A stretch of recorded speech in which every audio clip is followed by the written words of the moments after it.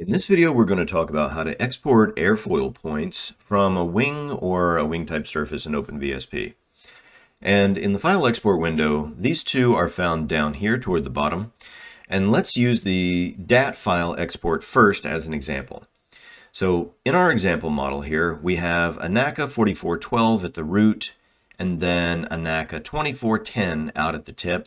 And so we only have this one section here in the middle that's being interpolated. So we'll take a look at that in section. You can see we've got numu equals 3. The reason I did that is because in your model, OpenVSP will export every single one of these interpolated slices as its own airfoil. It assumes that is what you want. So for very complex wing geometries, that's a very good thing because you can get each individual slice in whatever resolution you want all the way out. I'll also point out here that under the General tab, the numW will be the number of airfoil points in the coordinate files. So in this case, we're just using 41 to keep things relatively small. So let's take this back to 3, so we only get this one interpolated section here.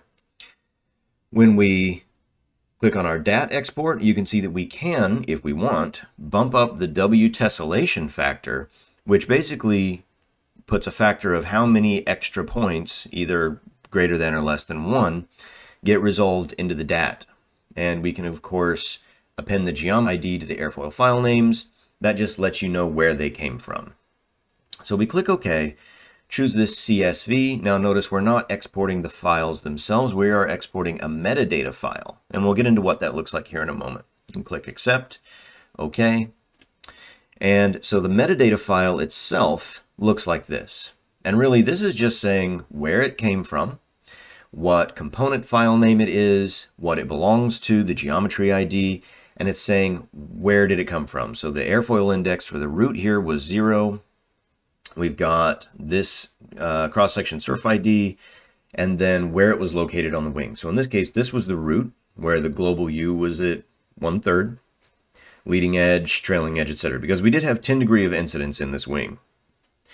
So further down, here's our interpolated one where you'll notice that because we did have that incidence, it's not really at two and a half feet of chord It's kind of somewhere in the middle because it's kind of twisting about itself. Out here at the tip, we have the third one. And so what does that all mean?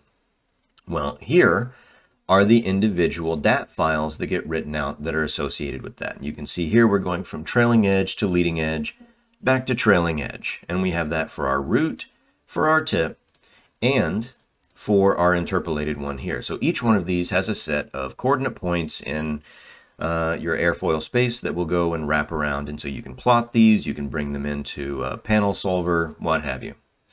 Our other option that we have is the Bezier airfoil curves, and that's all almost the same, except when you export these out, it's going to have a slightly different flavor of file. Now this is actually the Bezier representation of all of the little segments that make up that airfoil.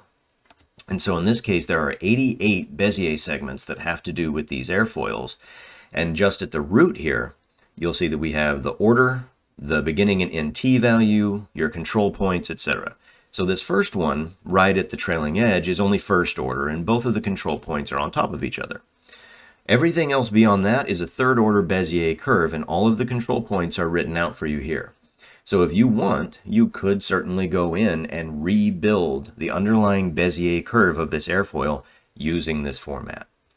So that is a couple of different ways that you can use the airfoil file export tool in OpenVSP to extract these interpolated sections.